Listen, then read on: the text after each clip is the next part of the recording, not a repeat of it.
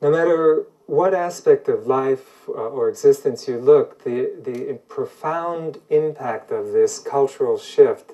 is, is imprinted in every aspect of our life. Uh, in a practical sense, the hunting and gathering culture usually has a population distribution of one person per every square mile. While uh, to contrast that with even rural uh, farming uh, situation, it's a hundred times higher than, than that, where you have a hundred people per every uh, 10 square miles. Now, this is to, not to include anything about urban density or suburban density. So, anyone who knows and experiences the kind of inner freedom one has just through the experience of open space, of, of space in which you can sense uh, aloneness and direct relationship with your environment. This, the openness of space is very important for that kind of experience. Um, on, a, on a more uh, physiological level, it's very one of the most prominent or contrasting uh, bits of evidence was the remains of prehistoric indigenous people that were exhumed from the region of Turkey and Greece. Now, these, prior to agriculture, the skeletal frames of both men and women were five to six inches taller than those skeletons that were found uh, following the introduction of settled uh, fixed settlement and agriculture. Um, that, that means it was not only uh, had to do with nutrition, but that the skeletons themselves had been compressed and deformed by the burden of labor, labor this sort of self-subjugation that agriculture uh, represents. In other words, you have to, uh, the, the transformation of the mystic, the hunter, the dancer, the wandering uh, indigenous nomad into the builder, the farmer, the, the, uh, the, the, unskilled worker. Uh, and this change is, is in vocation reflects a whole change in, in, in spiritual identity of the entire race.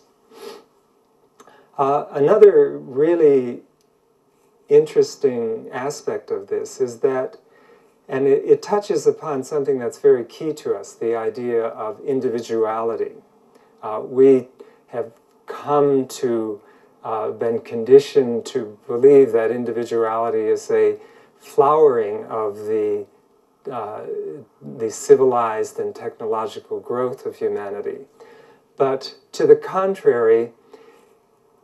in, it has been proven in almost every indigenous hunting and gathering culture, children, by the time they're three to four years old,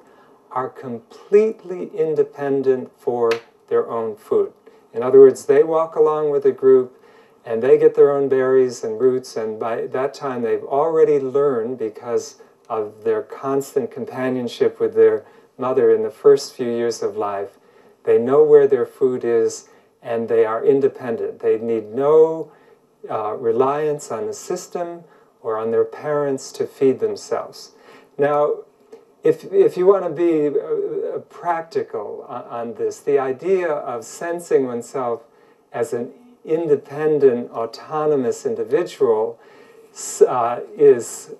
uh, you know, it's, it's it's paradoxical to think that we who are completely dependent upon a system for our, our, the very simple basics of life could ever actually achieve the individuality of a people who by three or four could be lost in the wilderness for weeks and could feed uh, themselves. As a matter of fact, the adolescent initiation in many indigenous cultures um,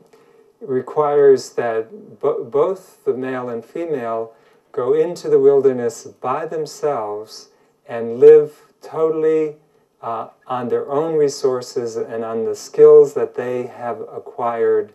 in, in terms of, of deriving their sustenance directly from nature. And most of those processes are spiritual processes. The, they, the Aborigines of Australia, for example, did not follow wallaby or kangaroo herds. Their walking, their movements were dictated by the mythological song lines. In other words, they traveled uh, uh, the routes and paths throughout Australia, and some of these tribes, it's proven, have walked the entire circumference and through the interior of the entire continent of Australia. And those walks are guided by following stories, creation stories, about how certain areas were created. And when they arrive at these places, they have, as I said, the imperative of ritual, dance, and art. They reperform and reiterate the story of creation in a ceremonial um, performance. So their food was a food that was presented there in relationship to the story, what was offered by the earth, uh, in response not to the, a, a practical, um, uh, calculating uh, relationship to hunting down a prey, but just receiving what was there. In some places, they would go to mountaintops during a time where a butterfly was uh, going through its um, uh, formation and release into its, its uh, form of flight, its insect form, and they would eat just butterflies and moths by, that were there by the thousands. So if you take out that practical uh, hunter and prey, and you realize that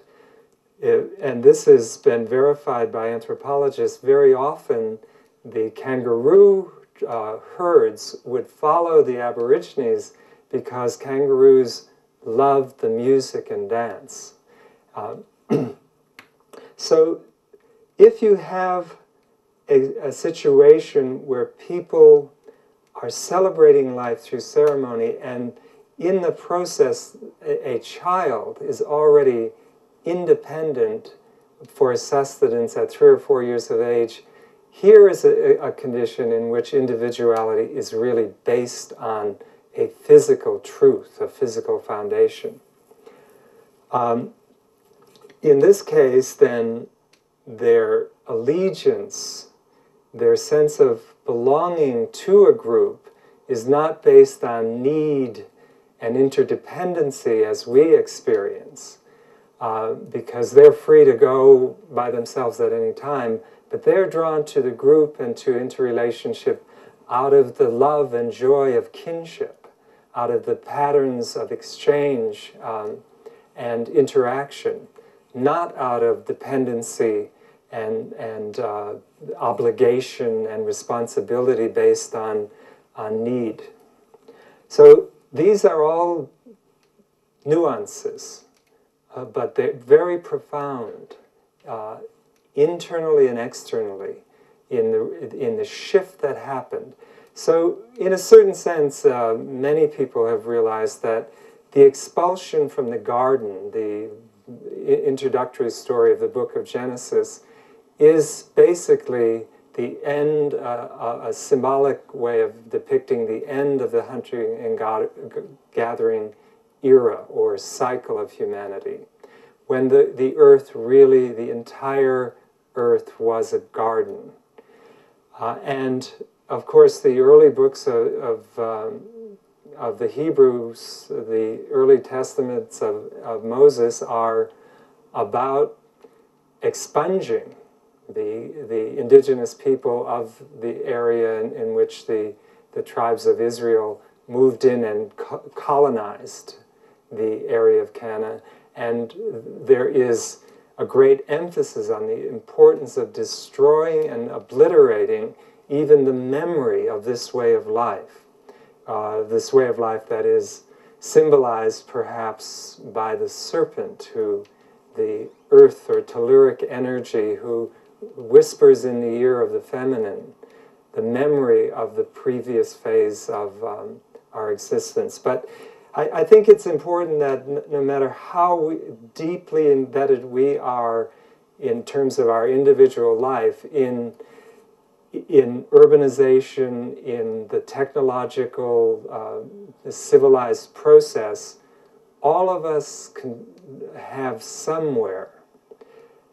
I, in our racial memory the, the uh, core, the seed, the essence of having at one time passed through the indigenous phase. And this memory, this, this deep recollection, is, I think, at this phase in which there is so, so much potential of termination, the memory of our beginning has holds a very specific and important profundity.